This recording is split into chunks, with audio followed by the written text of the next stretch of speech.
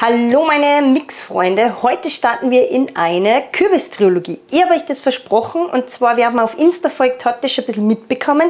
In meiner Ecke da drüben schlummern noch einige Kürbisse, die auf euch warten. Einer hat sich schon vertschüsst fürs Testen, einer ist gerade da in Arbeit und die anderen zwei warten auf den Rest dieser Trilogie. Also bleibt unbedingt dran, folgt mir, abonniert den Kanal, damit ihr die weiteren Rezepte nicht verpasst und ich verspreche es werden leckere. Heute geht es los und zwar mit, also mit unge, unbe, also mega, mega lecker und zwar ist es ein Knödelrezept. Ich habe euch versprochen, ähm, ich werde den Googleix testen, nur ein bisschen mehr als wie im letzten Video, also das habe ich euch ähm, ja, verlinkt mal ich, da habe ich euch den Googleix einfach mal gezeigt und ein Rezept dazu entwickelt und heute gibt es ein weiteres und zwar machen wir uns Kürbisknödel mit einer leckeren Salbeibutter. Gebräunte Butter und ich zeige euch am Ende, worauf ihr dabei achten müsst, weil es gibt ein paar Dinge bei der braunen Butter, auf die man schauen sollte, damit sie nicht schwarz wird. Und wir starten auch schon, wir legen los und fangen an, uns den Kürbis schon mal für das Püree vorzubereiten. Der kehrt ins Backrohr. Ich würde empfehlen ins Backrohr. Warum? Weil, wenn ihr jetzt den dünsten das oder, oder kochen, wird einfach das Püree ziemlich flüssig und verändert somit am Ende dann die Knödelmasse. Wir geben uns für das Ganze also einmal einfach eine Alufolie in eine Auflaufform und da kommt jetzt einfach mal der Kürbis rein.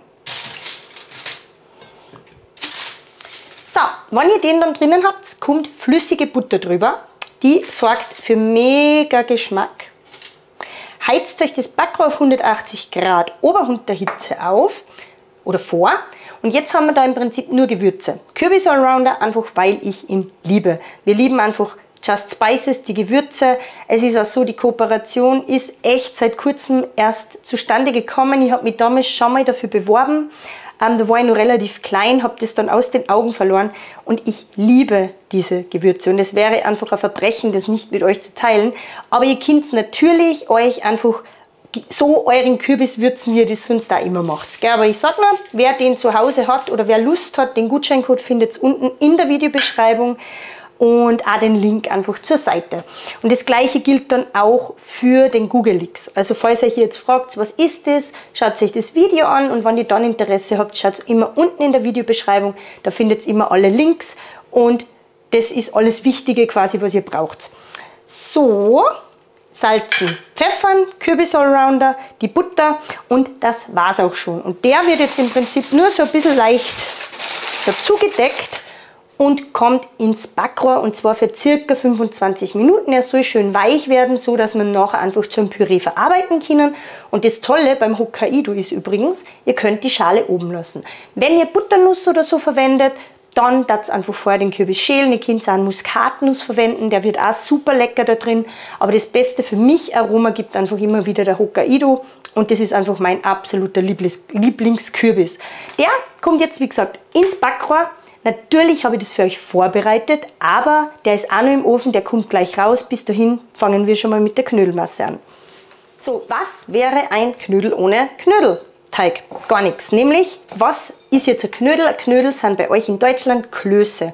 Warum erwähne ich das jetzt? Ich kriege wirklich immer wieder Fragen gestellt und ich glaube vor allem im Norden Deutschlands war das, wenn ich mich jetzt recht erinnere, dass einfach das auch gar kein Thema ist bei euch oder nicht, nicht so bekannt oder ihr zumindest eine andere Art macht ähm, und für auf Kartoffelbasis und wie auch immer. Auf jeden Fall könnt ihr, wenn ihr kein Knödelbrot kriegt, dann macht einfach altbackenes Weißbrot, zum Beispiel Semmeln, also ich weiß jetzt nicht, wie man die so nennt, aber diese einfach weißes Brötchen oder selbstgebackene, ähm, tatsächlich die einfach ein, zwei Tage fester werden lassen, würfelt es euch dann und dann habt ihr im Prinzip die ideale Bedingung, Voraussetzung für euren Knödelteig. Und wir starten für diese Klöße mit Zwiebel. Also es kehrt auf jeden Fall mal eine Zwiebel rein. Die wird für 4 Sekunden auf Stufe 5 zerkleinert. So, jetzt wird einfach alles mal ordentlich nach unten geschoben. Und dazu kommt jetzt der Rest von der Butter. Der Deckel kommt drauf. Ihr nehmt aber jetzt den Messbecher runter und jetzt ist es soweit und ihr setzt entweder euren Gareinsatz auf, das heißt, wie es im Rezept meistens auch bei Rezepten vorgeschlagen wird, Oder ihr macht es ein bisschen smarter und nehmt diesen kleinen, dieses Wufu oder den Mixtaste, also völlig egal, Hauptsache einfach was anderes als den Messbecher. Und dann das das Ganze für drei Minuten auf 120 Grad Stufe 1 andünsten. Wenn ihr jetzt euren Zwiebel andünstet habt, dann ist es jetzt wichtig, dass ihr zuerst die Milch dazu gebt, damit wir uns da drinnen keine Eierspeis machen. Dazu lassen wir das Ganze jetzt auch nur ungefähr ja, 5, 10 Minuten einfach ohne Deckel abkühlen, bevor wir dann unsere Dotter dazu geben. Warum Dotter? Ich gebe ganz gern zu Knödeln einfach einmal nur Dotter dazu. Das könnt ihr aber so handhaben, wie ihr möchtet. Wenn ihr ganze Eier dazu gibt, dann gibt es ungefähr 20 Gramm weniger Milch dazu. Dann habt ihr einfach das gleiche Maß an Flüssigkeit und habt am Ende ein tolles Ergebnis. Genau, wir warten jetzt ungefähr 10 Minuten, bis das abgekühlt ist. Dann kommt der Rest dazu und dann ist auch unser Kürbis schon soweit fürs Püree und wir können starten. Ich tue mir aber vorhin noch die Knödel, das Knödelbrot in eine große Schüssel, weil ich da am Ende alles immer ganz gern zusammengebe und durchmische, ähm, damit ich einfach bei ein bisschen größeren Mengen, damit ich dann einfach schön alles gleichmäßig vermischt habe und nicht so einen Brei habe. Genau, also jetzt heißt es nur kurz warten.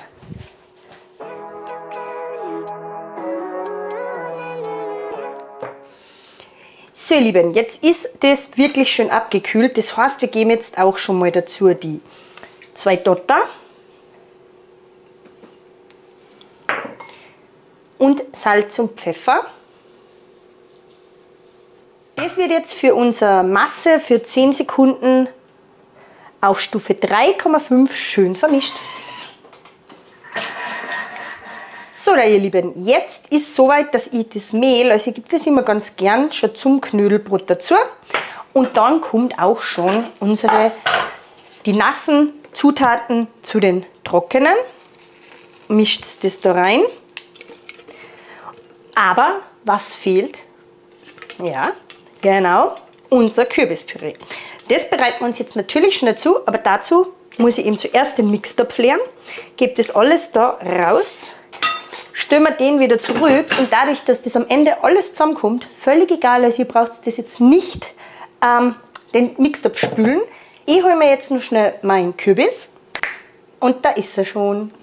Aus dem Ofen herausgeholt habe ich mir den und der ist jetzt nicht butterweich, also der muss euch jetzt nicht zerfallen, aber er soll weich genug sein, dass er sich einfach auch pürieren lässt. Da der ziemlich heiß ist, lasse ich ihn auf mein Brett stehen hole mir jetzt da einfach diese Stücke raus und ganz wichtig, ihr Lieben, ihr seht, der lässt sich schon richtig schön schneiden.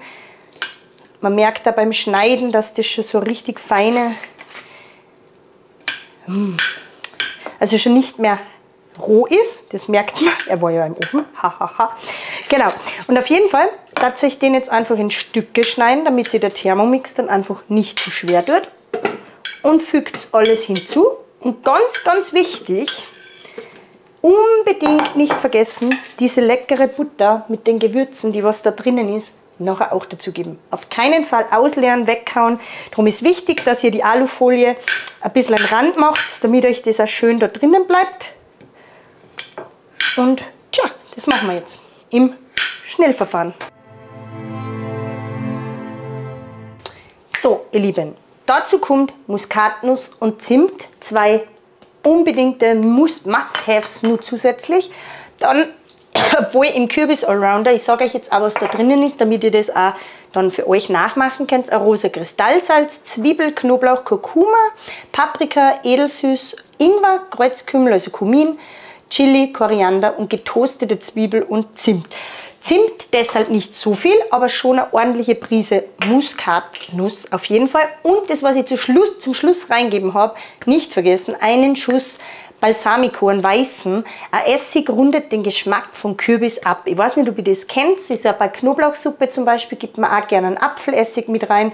Und in dem Fall gebe ich einfach ganz gern auch bei einer Suppe voll gern mal so einen Schuss von einem Essig mit zu. Genau, also das rundet einfach alles ab. Jetzt geben wir den Deckel da drauf und das wird jetzt für 45 Sekunden von Stufe 5 bis Stufe 9 einfach ansteigend püriert. wir sind schon fast am Ende. Ihr darf jetzt da schon mal alles so ein bisschen durchmischen und dann merkt ihr auch eben gleich, da fehlt noch was. Gell? Und jetzt kommt dieses leckere Püree da dazu. Gebt mal nicht alles auf einmal rein, gebt einfach immer so einmal immer so Drittel für Drittel dazu und mischt das dann einfach so am besten wie ich jetzt mit einem, mit einem, ja, mit einem Spatel einfach unter. Und durch dieses Püree kriegt es zum einen mega Geschmack und zum anderen die Feuchtigkeit eben, die es nur benötigt, damit es eine perfekte Knödelmasse wird. Vielleicht wir nur die Knödeltante. Wir lieben Knödel und ich habe so viele Ideen für Knödel. Eigentlich kann man mit so viel und mit allem und irgendwie überhaupt so viel Knödel machen. Das ist Wahnsinn. Also, und ich glaube, ihr liebt, na, ich weiß, ihr liebt Knödel auch. Also da bin ich schon des Öfteren von euch ein bisschen in die Richtung getrieben worden. Und es waren auch wirklich auf das Video dem Google sehr, sehr viele Anfragen von euch, was Knödel angeht. Also Knödel. Knödel, Knödel ohne Ende. So. Schreibt mal gerne in die Kommentare eure Lieblingsknödel. Das würde mich echt interessieren. Da hat jeder so eine andere Vorlieb, andere Vorlieben. Und jetzt ist nur wichtig, dass wir uns die Konsistenz vom Teig ansehen. Aber die ist wirklich schön. Gell? Also die darf genau so sein.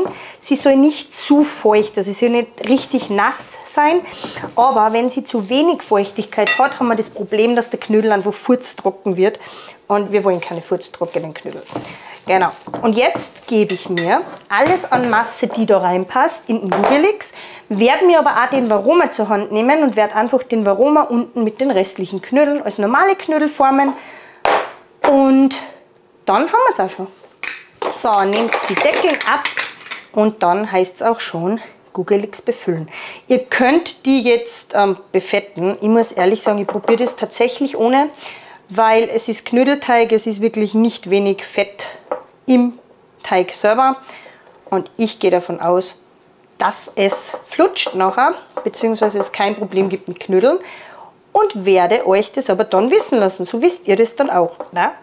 Auf jeden Fall füllt ihr den nicht ganz voll, sondern so lasst so einen, ja, einen Fingerbreit obenrum frei, weil die breiten sich ja doch natürlich nur ein bisschen aus. Und das macht es einfach mit allen sechs Kugelhupf. Formen. So, übrigens, wer nicht jetzt den Googleix zu Hause hat, ähm, der kann es alternativ in diesen Wunder Poach for 6 machen. Also ich, ihr kennt den wahrscheinlich.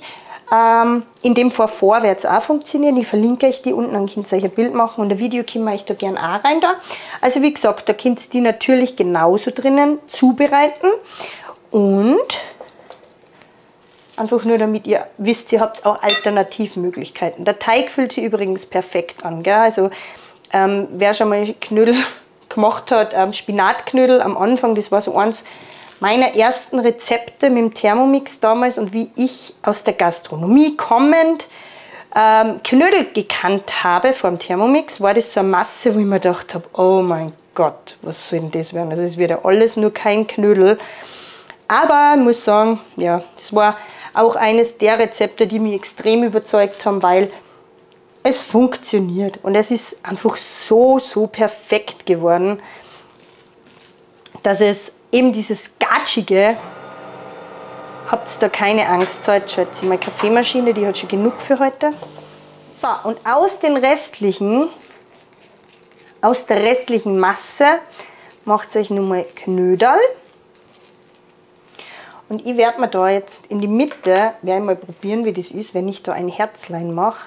Das ist mir jetzt irgendwie gerade so eingefallen, wie denn das wäre, wenn man einen Knödel in eine Herzform drückt. Funktioniert das oder? Hm. Das werden wir jetzt herausfinden. Ich lasse euch nachher wissen. So, die geformten Knödel zusammen mit den Googelix. Ich bin schon so gespannt. Dann Deckel drauf, kommen mal zur Seite, während wir da ungefähr bis zur Messer bedeckt, also 500 Gramm Wasser, geben wir in den Mixtopf zum Dämpfen. Ja, ein bisschen Salz, einfach für die Pflege von unserem Mixtopf.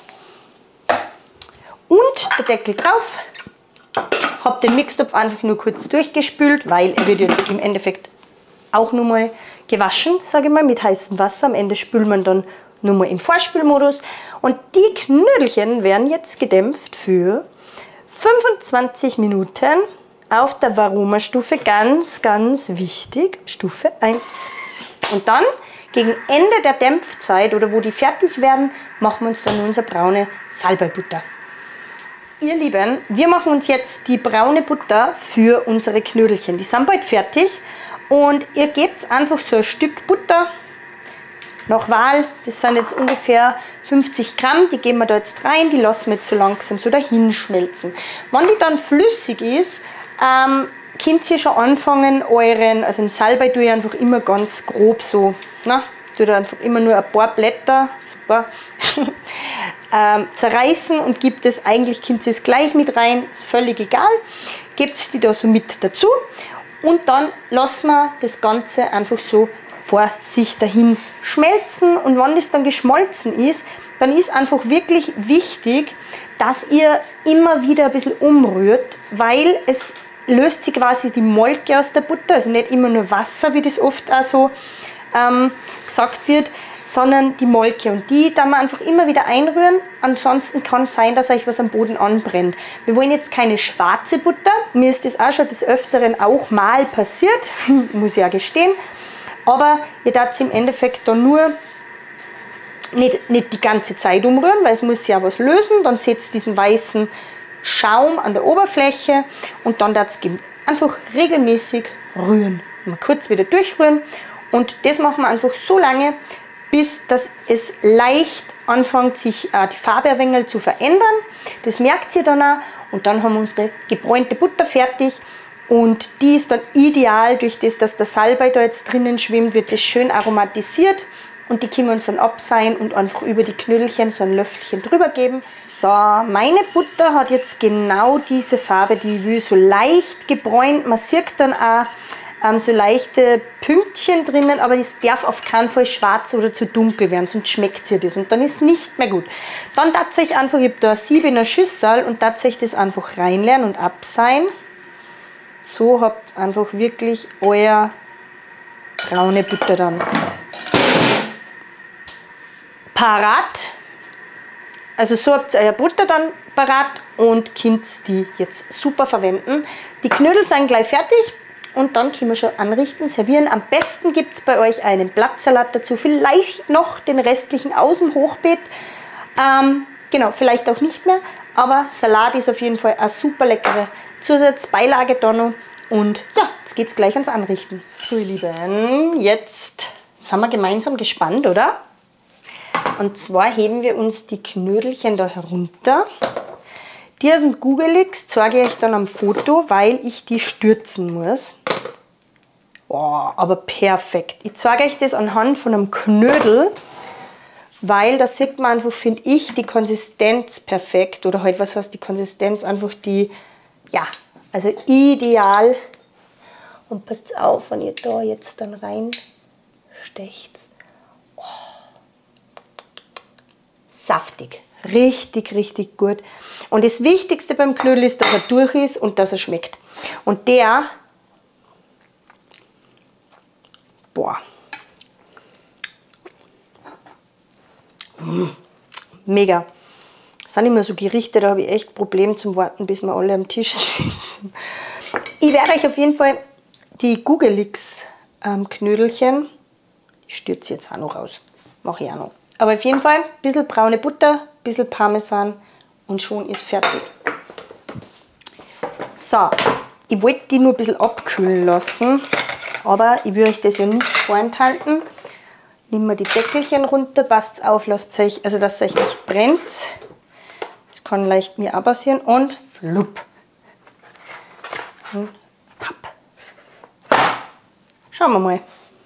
Vielleicht habe ich Unrecht gehabt mit meiner nicht ein Fettvariante. Oh yeah! Na, die gehen sicher raus. Die lasse ich jetzt ein bisschen abkühlen.